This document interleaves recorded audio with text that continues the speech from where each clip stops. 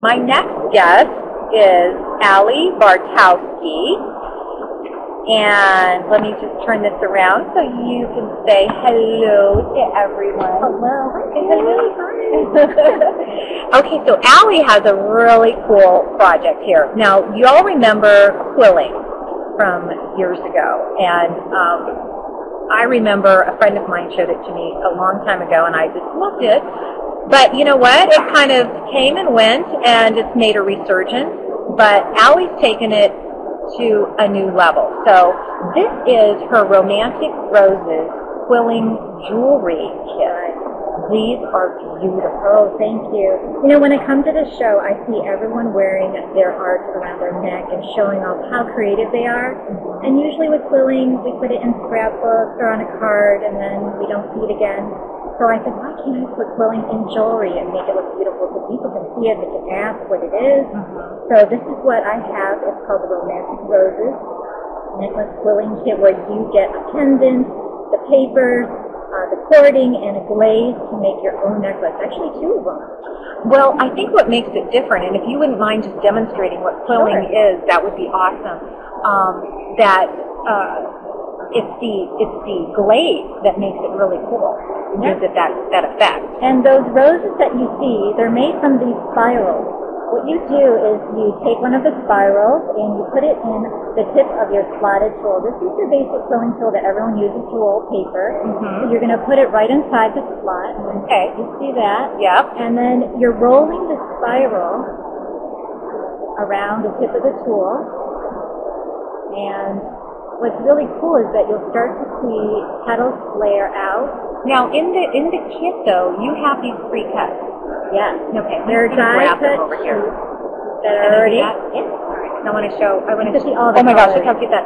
See, they're already cut for you, so you don't have to have any special equipment or anything like that to to do this because they already come pre-cut. Okay. Yeah, saves you some time. Yeah, for sure. So now you can see my roses here at the tip of the tool. I'm going to take it off and let it bloom open. So now it gets unwound like that. And what you're going to do now is just glue the bottom of this rose. That way those little coils will stay in place. I'm just grabbing some glue here. Oh, you're prepared.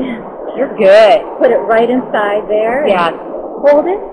And while I'm letting that glue dry, I'm using my thumb to just kind of curl the outer petals to make it look like a full bloom rose. Yeah. So you So could you could rose. kind of crinkle it, crumble it, Yeah, roll you it, even unroll spray it. some nice glitter on it before you roll it. Um, you can even chalk the edges. It's a lot with the, just the basic spiral. Okay.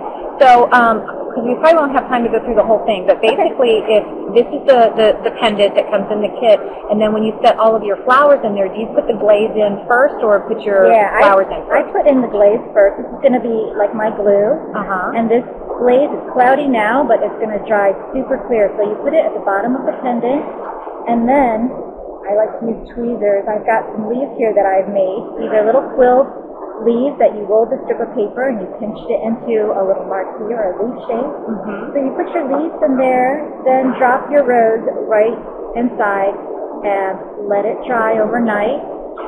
You see there's something here that's already made with that. And you can put a glaze on top to make it even sparkle. Yeah. Can let's take a look at some of the other pendants that you made because they're so beautiful and uh, I mean it's you can use so many different colors. You can create you can create specific you can create specific colors for certain outfits. It's absolutely gorgeous. And it's pretty much just only limited to your imagination and what you want to make out of it. So the kit itself is called Quill Creation, and yours, this this particular kit is Romantic Roses. Correct. Now, Yep. is it in the stores yet?